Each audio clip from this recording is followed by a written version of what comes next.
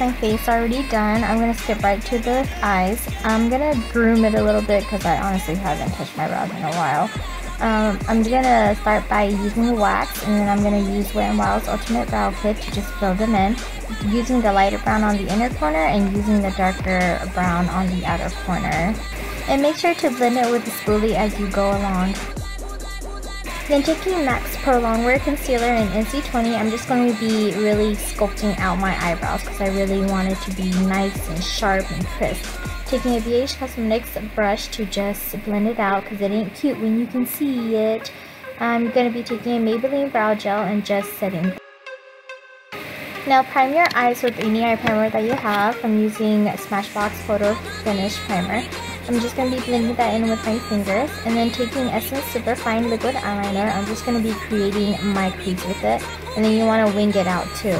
Taking a black eyeshadow, I'm just going to be smudging that and blending it along the way and you want to blend it as you go along. Taking Orange Soda from Anastasia Beverly Hills on a 217, I'm just going to be blending that.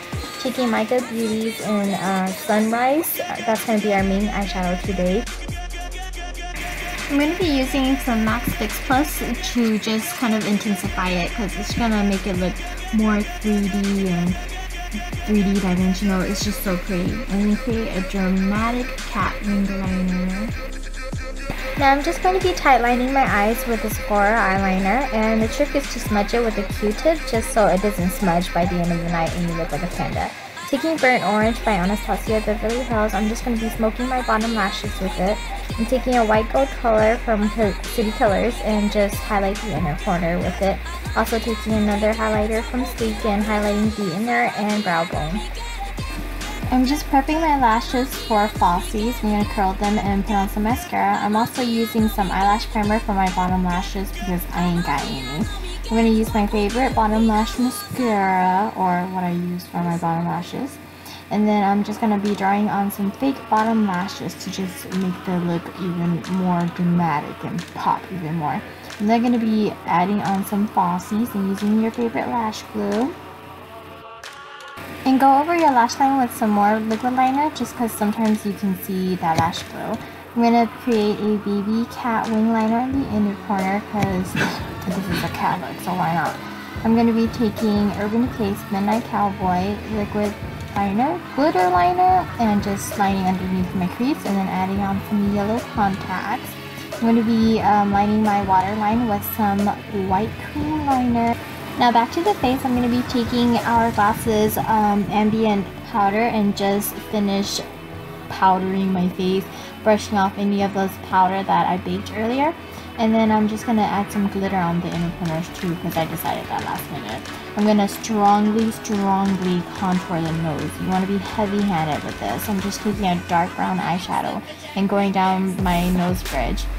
And then you're going to want to create your cat nose. I'm just using a liquid liner.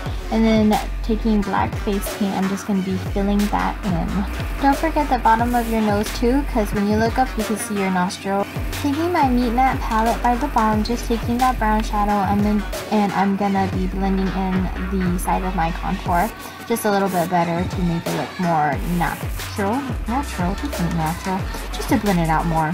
I'm going to be taking uh, Bare Minerals uh, Mineral Veil to just um, soften up the contour because it is a little bit harsh. Taking some white face paint, I'm just going to be smudging it on the top of my lips, I guess, and just blending it out to make my lips look more pouty. I'm taking Kat Von D's liquid lipstick in Lolita just filling in my lips. And then taking ColourPop's liquid lipstick in Nudie.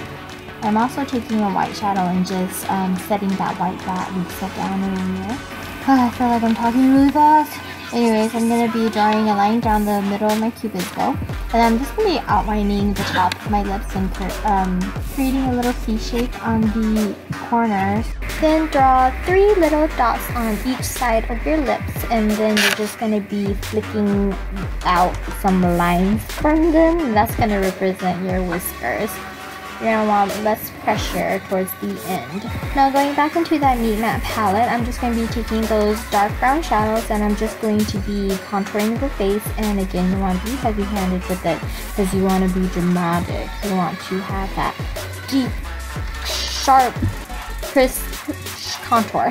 I'm also going to be using my NARS brush and just um, intensifying that contour. Because darling, you want your face to be so sharp and slim, you want to look sexy, like a feline. I'm going to be taking this hot pink blush by Buxom and I'm just going to pack it on to my cheeks. I mean, you don't want to pack it on, pack it on, but you want a good amount gonna be taking my NARS highlighter. I'm gonna be taking that gold one and just highlight the cheekbones with it. And then I decided I wanted it more intense. So I'm just taking my highlighter from Bill Hair and just piling that highlighter on because I want to glow like the star that you are. Put it just everywhere where you would normally highlight, but just intensify it. Then I'm going to be taking NYX's yogurt and just going to draw random little dots of different sizes on the side of my face. I'm going to be filling them in with that pigment from Mica Beauty again.